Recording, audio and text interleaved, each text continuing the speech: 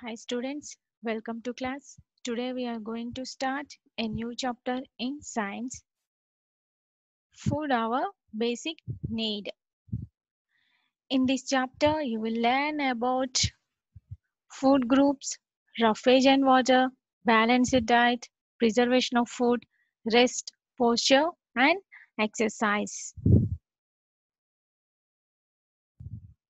Introduction Food that we eat has many substances that help our body to grow and stay healthy and strong. Food gives us energy to work and play. Children, every day we eat a variety of food items. They contain different nutrients. What are nutrients? The substances that are needed by our body for energy, good health and proper growth are called nutrients. Nutrients gives us energy to do our work. They help to repair our body and also prevent us from falling ill too often. The major nutrients found in food items are carbohydrates, proteins, fats, vitamins and minerals. Food also contains roughage and water. Let's learn about them one by one. Carbohydrates. Food items rich in carbohydrates are called energy giving food.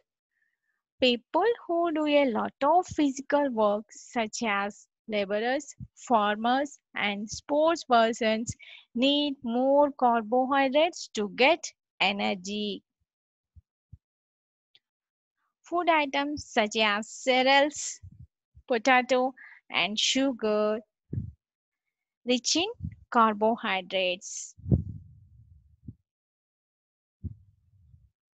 Proteins. Food items rich in proteins are also called bodybuilding foods. Proteins helps us to grow, build our muscles and repair our body. Young children need more protein rich food than adults because they are still growing. Food items such as milk, egg, fish, meat, cheese, beans and pulses are rich in proteins. The third one is the fats. Fats gives us more energy than the carbohydrates and keep our body warm.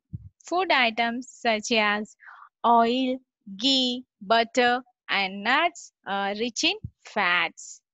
Note this point children. Eating lot of fat rich food can make you obese which is not a healthy sign. Vitamins and minerals. The vitamins and minerals are also called protective foods because they protect us from diseases and keep us fit and healthy.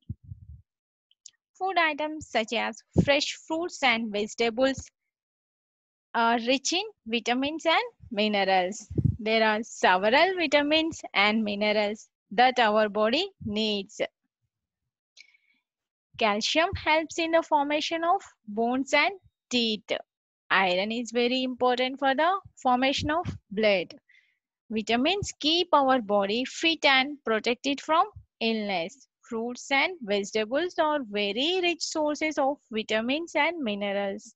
Other sources are egg, milk, liver, nuts, etc.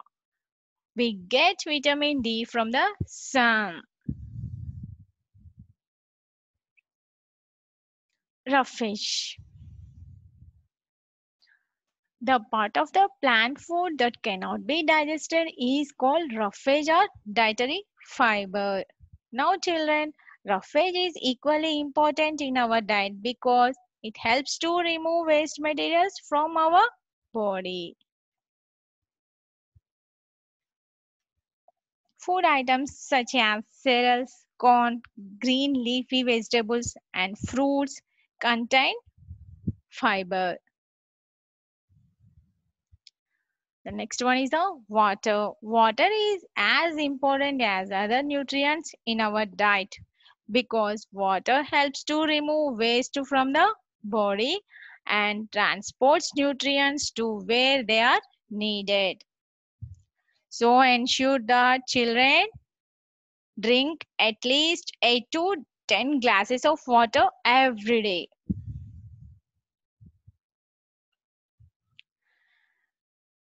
Children, now you all have learnt about various nutrients. So what kind of diet should we all take well?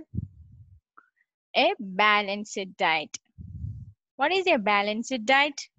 A diet that has all the nutrients in the right amount, including dietary fiber and water, is called a balanced diet. The next topic is preservation of food. Preservation of food prevent it from getting spoiled. We can preserve food in a number of ways. In the first method of food preservation, drying, we remove the water content of the food. For example, drying grapes to get resins. In the second method, pickling method, we mix fruits and vegetables with salted oil. For example, mango pickle and lemon pickle. And in third method of food preservation, we keep food items in the freeze to preserve it for a short time. For example, milk and other cooked food items are kept in the freeze.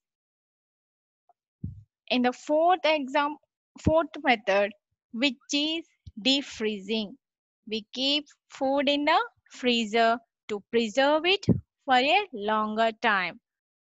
For example, keeping fish, meat, and peas in the freezer. The last method, we store food in cans and bottles. For example, bottles of sauces and jams. Children, it is very important to take good care of our body. And now I am going to discuss some ways to keep our body fit and healthy. To keep our body fit and healthy, we all need proper rest. School children need 9 to 11 hours of sleep daily. Except taking proper rest, you should all exercise regularly and play outdoor games. But children, remember these days it is not safe to play outdoor games. So you should all keep should all help your elders in household chores. With this, we end our today's class. I hope you all had a great learning session.